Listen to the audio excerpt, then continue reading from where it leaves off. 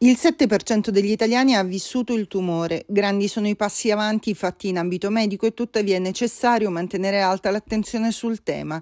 Inquinamento ambientale, raggi solari, agenti infettivi, alimentazione, vita sedentaria, cattive abitudini, eccessi insieme al patrimonio genetico sono tutti fattori che possono incidere sul rischio tumore e quando la malattia è accertata diventa necessario anche intraprendere percorsi per il ritorno alla quotidianità attraverso la riabilitazione integrata oncologica. È un servizio che si vuole dare agli ammalati affetti da tale patologia per eh, ristabilire, riequilibrare il proprio assetto fisico, psichico, emotivo, relazionale, perché ovviamente si guarda non soltanto alla malattia, ma si guarda la persona nella sua globalità. Quindi ci sono tutta una serie di attività che sono abbastanza variegate, che vanno dall'attività fisica all'attività eh, psicologica, ai incontri di yoga, ai incontri con la psicologa, a incontri di estetica, a passeggiate di gruppo,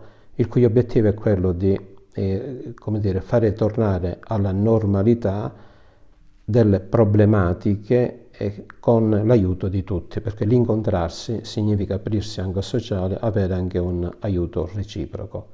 In via Salvati sin da oggi i primi appuntamenti che in sei mesi, con incontri di vario tipo, supporteranno sia i malati oncologici che i loro familiari. E l'onconauta è quella persona che fa una introspezione, che riequilibra il proprio assetto alla luce dell'esperienza che ha. Il tumore, per gli strepitosi risultati ottenuti dalle terapie e per il notevole vantaggio dato dalla prevenzione, hanno consentito di ampliare enormemente l'aspettativa di vita dei malati oncologici. Per cui diciamo, eh, molto spesso noi guardiamo e ci soffermiamo soltanto agli aspetti fisici, però dobbiamo guardare non il malato eh, e, e, e, non solo il malato, dobbiamo guardare alla malattia per entrambe le problematiche, malattia e malato.